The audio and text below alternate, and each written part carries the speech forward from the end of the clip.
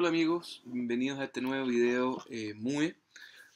Con ustedes nuevamente Nicolás Pireda, director asociado al programa de Medicina Urgencia y Emergencia, eh, Universidad de San Sebastián y Clínica Santa María. En este video vamos a hablar de la reanimación en embarazada. Y la pregunta que hay detrás es si que realmente están preparados o no.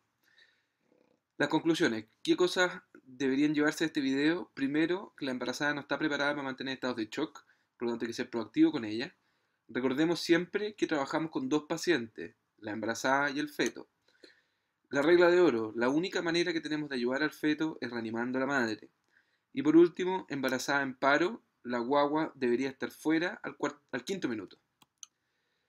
¿Por qué, es lo que vamos a conversar un poco? ¿Por qué las embarazadas toleran muy mal el shock? Algunas recomendaciones en reanimación eh, previo al paro. Luego vamos a enfocarnos en la embarazada en paro. Y por último, un par de palabras de la cesárea perimortem.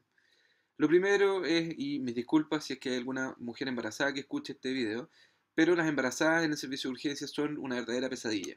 No solo por la eh, presión, entre comillas, social eh, que existe, ya que la madre, sobre todo las primerizas, habitualmente llegan angustiadas, eh, llegan con un montón de miedos y un montón de mitos alrededor del embarazo y la enfermedad, que muchas veces es muy difícil de manejar. Eh, y no solo eso, sino también en la familia, eh, que muchas veces están, los maridos están eh, más nerviosos que la mamá. Em, pero no solamente eso, sino que desde el punto de vista fisiopatológico, la embarazada está muy mal preparada para preparar los estados de shock. ¿Y eso por qué? Es porque durante el embarazo normal se producen algunos cambios fisiológicos que todos van siendo más evidentes hacia el final del embarazo. Primero, cuando hablamos de vía aérea, las embarazadas tienen edema de mucosa, las mucosas son más friables. Eh, la capacidad residual funcional disminuye en un 20%. ¿Y esto por qué? Porque sube el diafragma hasta 4 centímetros, aumenta el chant intrapulmonar eh, y existe una disminución de la compliance torácica. Por lo tanto, el tórax, a la le cuesta más eh, ventilar. Y esto por el crecimiento de las mamas y por el útero que a medida que avanza el embarazo va metiéndose cada vez más en el abdomen. Aquí lleva esto, y esto es un gráfico que no sé si probablemente se lo he mostrado en algún otro video, pero a mis residentes se los he mostrado infinitas veces, porque em, es muy interesante el momento de pensar en manejar una vía aérea. Eh, en el eje de las X tenemos el tiempo de apnea y en el eje de las Y tenemos la saturación. Vean cómo un adulto normal puede estar hasta 8 minutos antes de caer bajo 90% de la saturación con una eh, preoxigenación adecuada versus nuestra embarazada, que antes de los 3 minutos ya estamos bajo 90. ¿Y cuál es el punto? Que la curva de saturación tiene esa forma. Por lo tanto, cuando estamos en 90, eh, para llegar a 60, por ejemplo, son eh, algunos segundos. Por lo tanto, no tenemos tiempo.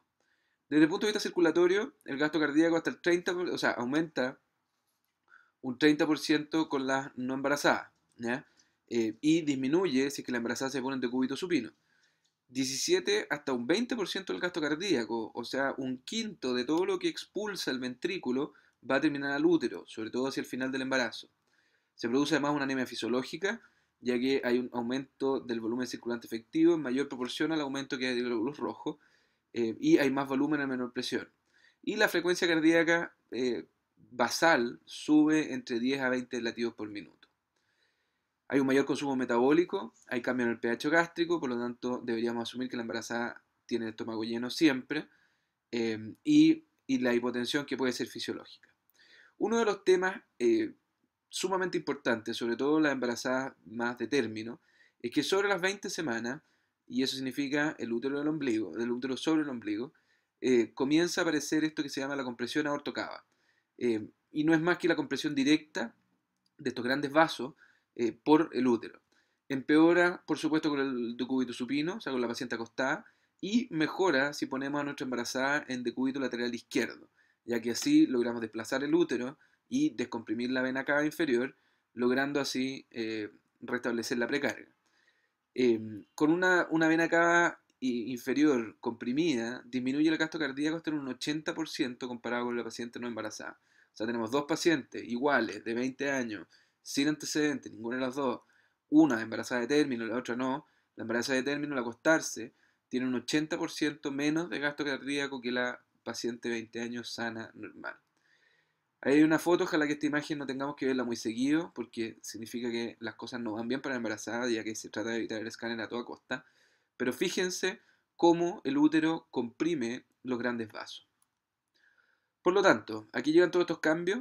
Primero, de saturación más rápida. Segundo, que el masaje sea inefectivo por la disminución de la compliance torácica y por eh, otras de, las justificaciones que hemos dado. Eh, si normalmente logramos entre un 10 a un 15% del gasto cardíaco con nuestro masaje externo, en la embarazada claramente estamos por debajo del 10% del gasto cardíaco normal con un masaje cardíaco externo.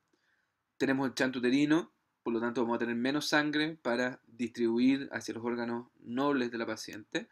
Viaria difícil, estómago lleno. Además tenemos, no olvidemos el feto. Y sabemos que el feto tiene una pésima tolerancia a la hipoxia, a la hipercarbia y a la acidosis, que son, al menos la hipercarbia y la acidosis, son dos de las alteraciones más precoces en los estados de shock. Por lo tanto, créanme cuando les digo que la embarazada es una pesadilla eh, en el momento de llegar al servicio de urgencia eh, con alguna enfermedad grave. Entonces, ¿qué podemos hacer? Primero, ser proactivo con la embarazada. No se confíen en que la paciente que tuvo un trauma menor está hipotensa porque está embarazada de término o está taquicárdica porque es fisiológico. ¿ya? No confiarse en la anemia fisiológica, sobre todo en la embarazada que ha sufrido trauma. ¿ya?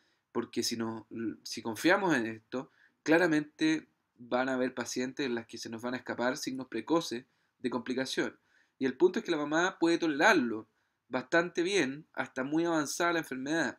Pero recuerden que tenemos el feto, que tolera pésimo la acidosis y tolera pésimo em, la hipercarbia. Hay que tener un bajo umbral para cantidad intervenciones. ¿Qué significa eso? Hay que reanimarlas con volumen, hay que tener un bajo umbral para transfundir a estas pacientes, ya que la anemia eh, fisiológica en el fondo eh, empeorada por un sangrado, por ejemplo, va a hacer que el transporte de oxígeno baje en forma dramática. Eh, y esto incluye también para las imágenes diagnósticas.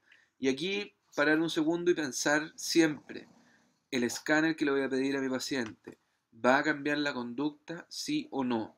Si la respuesta es sí, tomen el examen. Buena educación a la paciente, buena educación a la familia, eh, conversen con el radiólogo, los tecnólogos, les van a hacer firmar 20.000 papeles, pero bien, o sea, si necesitan el escáner porque necesitan tomar una decisión con respecto a eso, adelante, hagan el escáner. Si lo pueden evitar o tienen métodos diagnósticos alternativos que son razonablemente similares de cuanto a rendimiento, por supuesto agotemos todas las posibilidades. Pero si llegan eh, al punto donde tienen que decidir si tomar o no tomar un escáner, la pregunta que tienen que hacerse es ¿para qué voy a tomar ese escáner? ¿Qué voy a hacer con los resultados de ese escáner? Y por último, como recomendación, hay que tener una excelente relación con la familia del paciente. Eh, hay que explicar, acompañar durante el proceso, como conversamos inicialmente, eh, la angustia que hay eh, en torno a la embarazada enferma, tanto con la paciente como con los familiares, es tremenda. y las posibilidades de que las cosas empiecen a salir mal o no salgan bien, no, no sé si son altas, pero existen claramente. ¿ya? Y la embarazada rápidamente puede compensarse. Por lo tanto, eh, una buena relación con la familia del paciente les va a ayudar muchísimo eh, en, esos, en, esos momentos. Recuerden, la, la, regla de oro, la única manera que tenemos de ayudar al feto es reanimando bien a la madre. Cuando ingresan pacientes enfermas, eh, pacientes choqueadas, pacientes graves, todo el mundo o la mayoría de la gente, de los doctores, se van eh, directamente a evaluar cómo está el feto. Y pierden la noción de que en realidad lo único que podemos hacer por ese feto, eh, dependiendo de su edad gestacional, es tratar bien a la madre. No tenemos cómo llegar al feto para aplicarle un tratamiento específico. ¿ya? Por lo tanto, insistir, la única manera que tenemos de ayudar al feto es reanimando bien a la madre. Ok, hicimos lo mejor que pudimos, pero la cosa no anduvo bien. La embarazada cayó en paro cardiorrespiratorio. Por tanto, ¿qué crees que hacemos ahora? Y este es quizás la diapositiva más importante de la presentación y habla de la embarazada en paro y tira una línea de tiempo de manera inmediata, que va desde el T0, desde que la paciente cae en paro o desde que el paciente ingresa a nuestro servicio en paro, acuérdense que la información que podemos obtener del personal de prehospitalario o de la familia muchas veces equívoca. Por lo tanto, asumir que el tercero es la vez o el momento en que ustedes conocieron a la paciente. Luego se extiende, tiene dos puntos importantes, los cuatro minutos y los cinco minutos. En el tercero, iniciamos nuestra RCP, vía aérea precoz y oxigenación. ¿Por qué vía aérea precoz? Hemos insistido un montón de veces que el paro, la vía aérea, es secundaria y que importa más la parte circulatoria. En el caso de la embarazada un poquito distinto, porque ya vimos que desaturan muy rápido, eh, por lo tanto basta 2 a 3 minutos de paro para que la, la saturación de la paciente esté en 60, y la hipoxia es algo que el feto tolera extremadamente mal. Por lo tanto, tenemos que asegurar una vía aérea y oxigenar a esa paciente. La segunda pregunta vital es la edad gestacional. Y aquí el corte va a ser sobre las 20 semanas. O el útero sobre el ombligo. Si la respuesta es no, tenemos un solo paciente, figuradamente hablando. O sea, la, el feto no es, más que un feto y lamentablemente bajo las 20 semanas no tiene ninguna posibilidad de sobrevivir a menos que sobreviva la madre. Por lo tanto, continuamos con nuestra RCP habitual. Si la respuesta es sí, tenemos que prepararnos para la cesárea perimortem. Fíjense dónde dentro del algoritmo ya estamos hablando de la cesárea. No hemos llegado ni siquiera a los 4 minutos. ¿Qué significa prepararse para el cesárea perimortem? Y es, aquí necesitamos toda la ayuda que podamos tener. Ginecólogo, cirujano, neonatólogo, nuestro equipo de pediatría. El que quiera venir a ayudar, o el que esté cerca para venir a ayudar, que nos venga a ayudar. ¿Por qué prefiero un ginecólogo?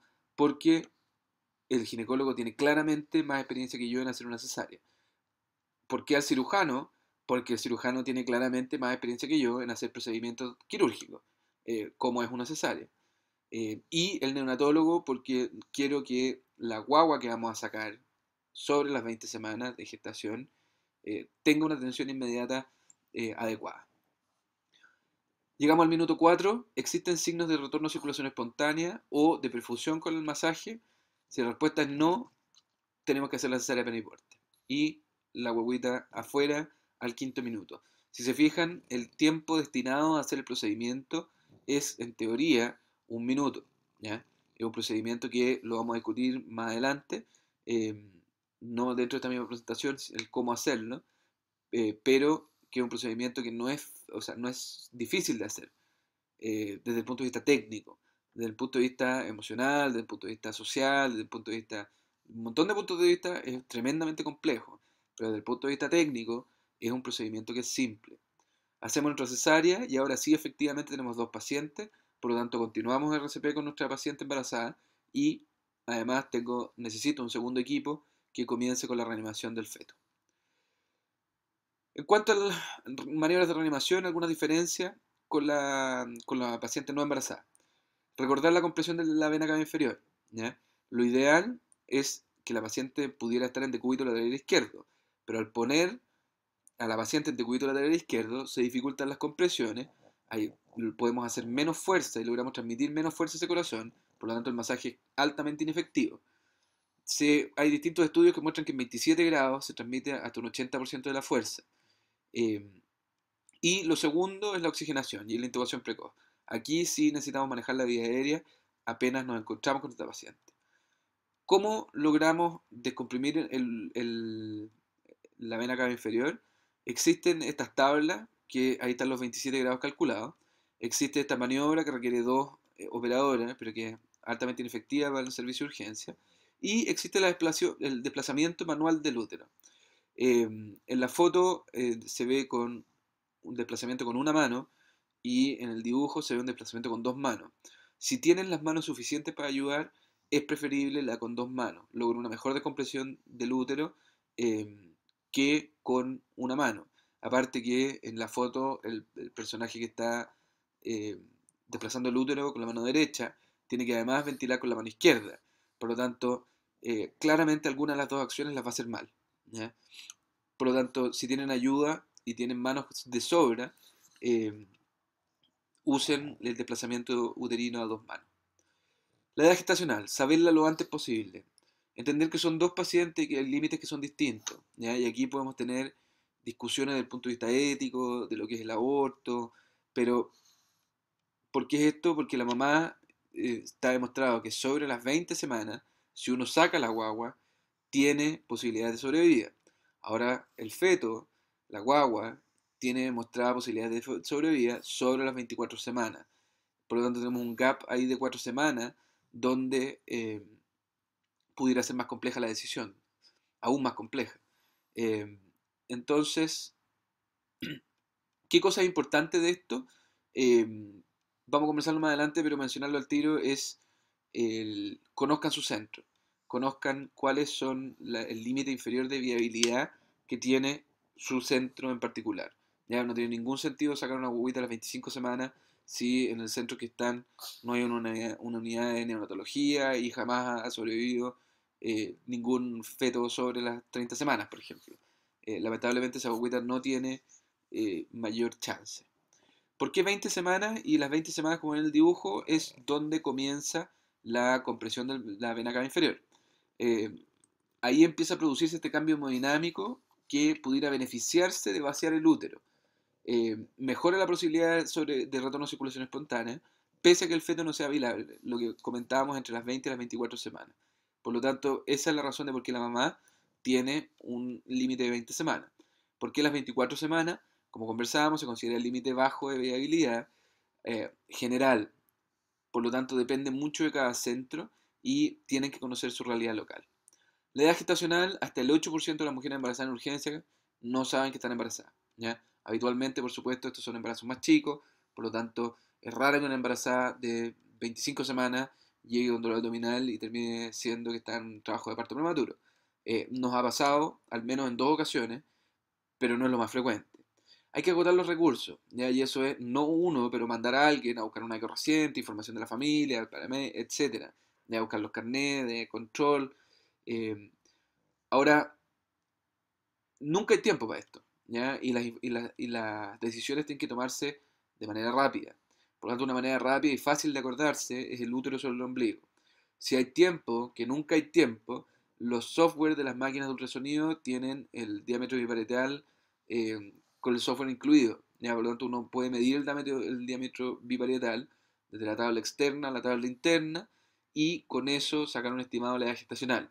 No busquen, si es que están en la duda, pocas veces les va a ayudar la ecografía. Imagínense el escenario, embarazada en paro, eh, tratando de hacer las mediciones, pocas veces sirve. Por lo tanto, ¿qué es lo que hay que llevarse para la casa? Y es que el gatillo de la cesárea perimortem es el útero sobre el ombligo. En cuanto a la cesárea, ampliamente conocida, debatida y discutida, por supuesto, la mitología está llena de casos. El Imperio Romano eh, pusieron una ley, en el fondo, donde ninguna mujer debía ser enterrada con su hijo en el vientre. Esto obligaba a que una vez que la mamá moría, sacar al eh, feto del útero. Entre 1700 y 1900 era obligación del médico hacer esto eh, y claramente era muy, muy resistida y los resultados de sobrevivir eran pésimos, eran nulos, la mortalidad era del 100%.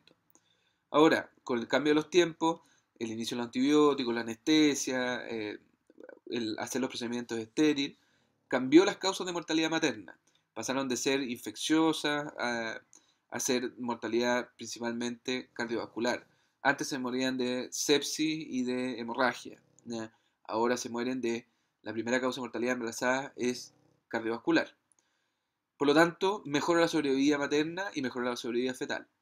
Este personaje es Bern Katz. Em, este trabajo lo publicó en el año 1986, donde discute precisamente este cambio de perfil de mortalidad en las mamás menos infección y deshidratación, más cardiovascular y más trauma. En 1986 ya eh, recomienda hacerla en toda mujer embarazada sobre 20 semanas. Y en este paper recomienda hacerla temprano, y entre comillas tiene esta regla de los 4 minutos. Este mismo hombre, el año 2005, o sea, varios años después, del año 86 al 2005, eh, hace una revisión de los casos publicados de cesárea perimortem entre los años 85 y el 2004. Encontró 38 casos de los cuales 34 fetos eh, terminaron vivos, de los cuales 4 y 4 que vivieron inicialmente. Por lo tanto, todos los reportes de casos donde se sacó el feto inicialmente sobrevivieron. 4 de ellos finalmente murieron. Y 20 de las madres tenían causas reversibles. De estas 20 madres con causas reversibles, 12, o sea, más de la mitad, sobrevivieron. Aquí todo el mundo dice, pero hay un sesgo de publicación, porque ¿quién va a publicar que se le murieron los dos pacientes? Y es cierto, pero ¿qué importa? ¿Ya? Partamos de la base donde tenemos dos pacientes que están muertos. Por lo tanto, nuestro peor outcome es que se mantengan muertos. Si uno puede hacer alguna intervención, por cruenta o por salvaje que le parezca a alguno, eh, en donde podemos recuperar una o incluso las dos vidas, eh, creo yo que vale la pena intentarlo. Esto, desde el punto de vista estadístico, no tiene ningún valor por los N que son chicos y probablemente nunca vamos a tener N mayores ni trabajo doble ciego, randomizado, por lo tanto, olvídense de eso. Es solamente para mostrarles que hay una tendencia de que mientras antes se haga parece mejor.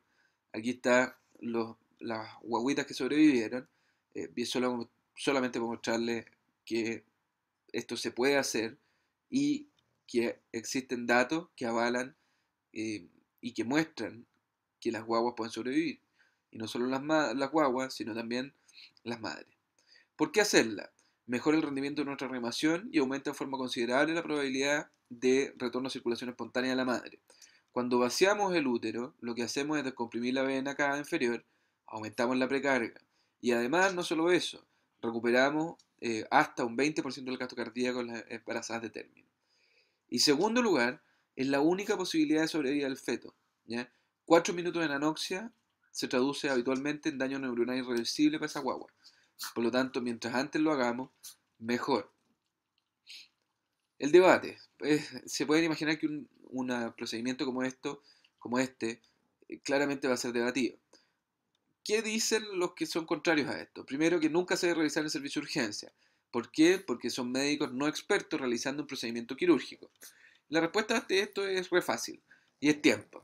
Si usted o el sistema de salud está dispuesto a tener un ginecólogo ahí las 24 horas del día, los 7, eh, o sea, las 24 horas del día, los 7 días de la semana, eh, para un evento que es uno cada 20.000 partos, eh, cada 20.000 nacidos vivos, eh, entonces, adelante. Pero la realidad, creo yo, en ninguna parte del mundo es esa. Los ginecólogos habitualmente son eh, interconsultores de llamada, por lo tanto, se demoran algún tiempo en llegar después de que hacemos nosotros el llamado. Y estamos hablando de la regla de los cuatro minutos, ¿ya? Por lo tanto, eh, habitualmente el ginecólogo no va a llegar dentro de los tiempos que sea necesario y sabemos que mientras antes lo hagamos, mejor. Por lo tanto, es un procedimiento que deberíamos saber hacer, al menos haberlo estudiado, al menos eh, saber la teoría y estar preparados para que Dios no quiera, llega ese día donde tienes que manejar a una embarazada de 28 semanas que ingresa en paro. Segundo, consentimiento de los padres. En realidad esto es un procedimiento de emergencia, como cualquier otro. ¿ya? Uno habitualmente cuando tiene que hacer una, secuencia de intubación de emergencia, no le pide consentimiento al paciente ni a la familia es una cosa que estás haciendo en beneficio del paciente. Y aquí es lo mismo. No es para que ganar experiencia nosotros y para que aprendamos a hacer una cesárea, es porque realmente es la única posibilidad de sobrevida eh, de la guagua y muchas veces de la mamá también.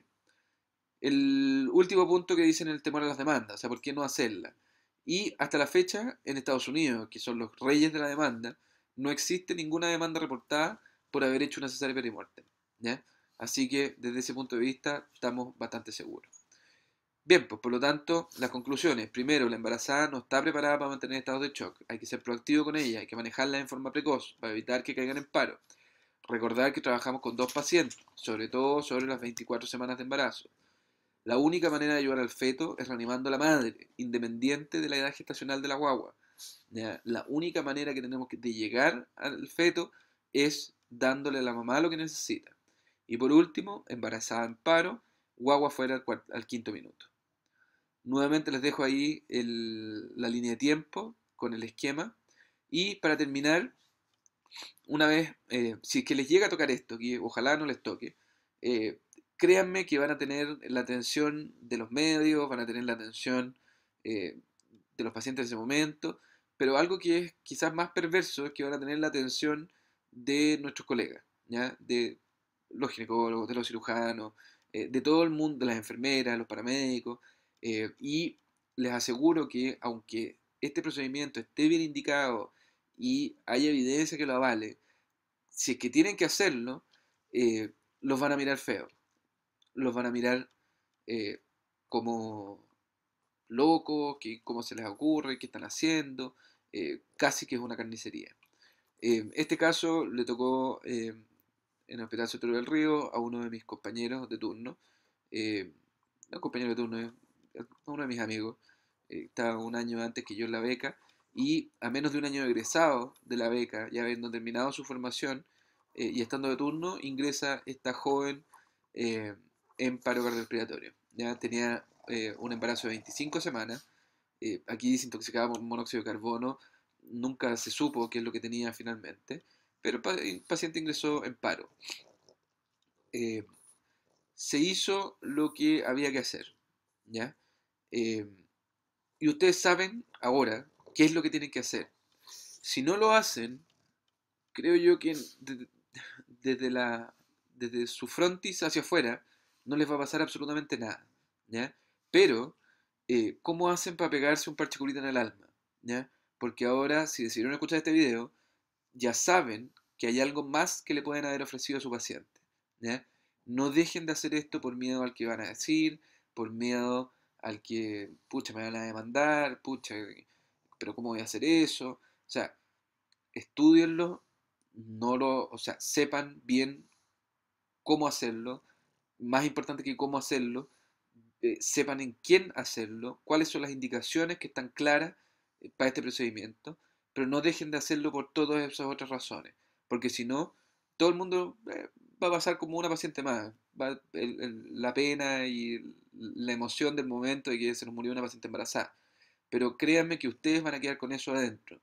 El hecho de saber que pudieran haber hecho algo más y que no lo hicieron por la razón que haya sido. Este hombre es el doctor Oscar Navea, es residente eh, en este momento de staff del eh, programa de medicina urgencia en la Universidad Católica y es mi compañero que a menos de un año egresado le tocó manejar esta paciente. Em, él decidió hacer lo que sabía que tenía que hacer y lo hizo. Eh, se ganó un par de meses de comentarios de pasillo, eh, de pelambre, entre comillas, de que, pucha, este hombre, yo me acuerdo de, volví, o sea, llegué al turno siguiente o al subsiguiente y uno de mis mejores amigos cirujanos me pregunta, oye, ¿qué le pasó a Navea? Dice un brote psicótico, pero así, realmente preocupado. Eh, por lo tanto, ese es el nivel de poca preparación que tienen nuestros colegas con respecto a este tema. Él hizo lo que tenía que hacer, Y creo yo, y habiendo conversado alguna vez este tema con él, que pese a lo cruento, pese a, lo, a todo lo que, lo que conlleva hacer un procedimiento así, eh, él puede dormir tranquilo. Muchas gracias, eh, espero que este video les sea de ayuda. Un abrazo, nos vemos al siguiente.